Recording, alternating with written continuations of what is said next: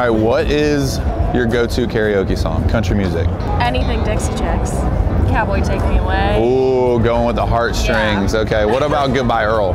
Oh, absolutely. Mary Ann and Wanda were the best of friends. What about you? What's Um, either Heartache on the Dance Floor by Jon Pardi Ooh. or It's 5 o'clock somewhere. Yeah. Can you finish this lyric? Mama, don't let your babies grow up to be. Cowboys. She got it, folks. She got it on the first try.